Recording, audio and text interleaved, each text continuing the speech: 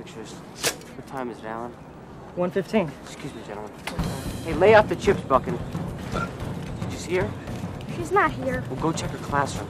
Should I go ahead and take care of this tree? Let's wait a few minutes. What's going on here, Maxie? Oh, hey, Coach Beck. Good to see you. This is where we're putting in the new aquarium. I'm on charge of the committee, if you can believe it. This is my baseball diamond. Yeah, I know, and uh, I believe it's being relocated a few feet over. Is it true the aquarium will have piranhas?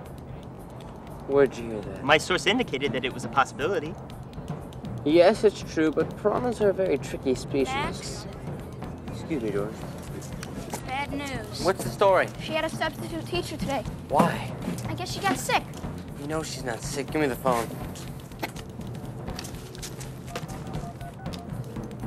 Janet, Max Fisher, is Mr. Blume there?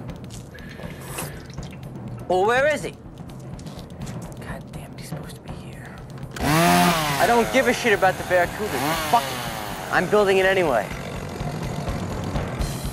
Max! Where are those damn kids? Mario!